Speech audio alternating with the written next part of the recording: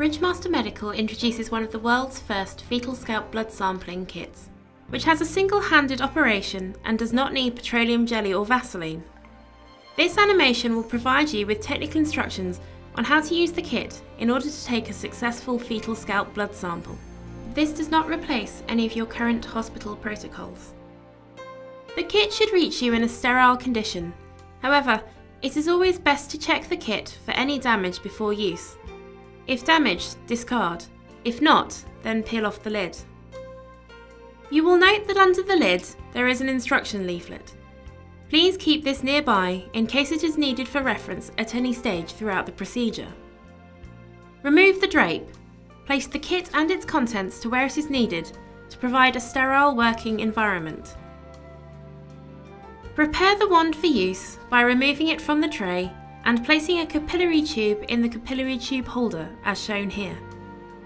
With the patient in a suitable position, remove the amnioscope from the pack and insert into the vagina using a suitable lubricant if required. To ensure you have a good seal against the fetal head, remove the obturator and move the Ella closer to the scalp.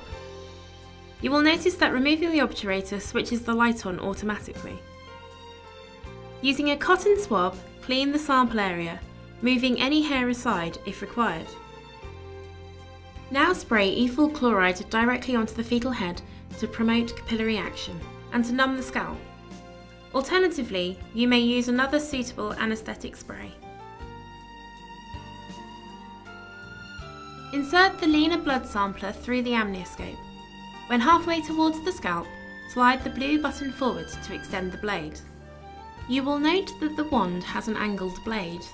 This is to allow you to stab the vein and gain a more accurate incision. At this stage, quickly slide the blue button backwards to retract the blade.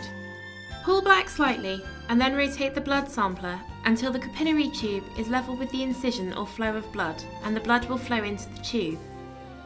Once you are satisfied you have an adequate sample, remove the blood sampler from the amnioscope. Now remove the capillary tube from the pre-mounted position and place the wand with the rest of the pack. If required, place an end cap on one end of the capillary tube. Insert the mixing wire and place the other end cap on the opposite end.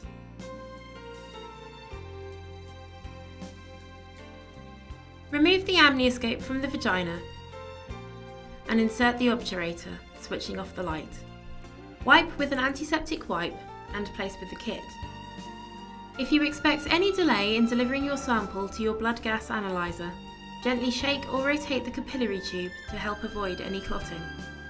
After removing both end caps, insert the tube into your blood gas analyzer.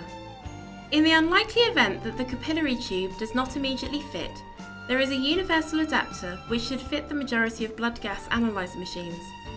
Simply fit to one end and then reattempt to insert the tube. The FSBS kit is designed to allow the collection of multiple samples. Simply follow the same instructions as before, using a new capillary tube to collect another sample. When you have completed the FSBS procedure, the entire kit, including the tray and Ella, can be disposed of in accordance with your hospital protocol. Ella has been designed so that its circuit board and battery can be separated from the plastic parts and disposed of in your designated collection bins for each type of waste.